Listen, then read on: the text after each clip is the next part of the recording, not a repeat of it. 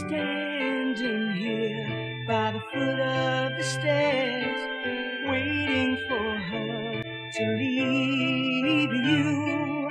Hear the sound from your mind. There must be something that you can do to make her stay.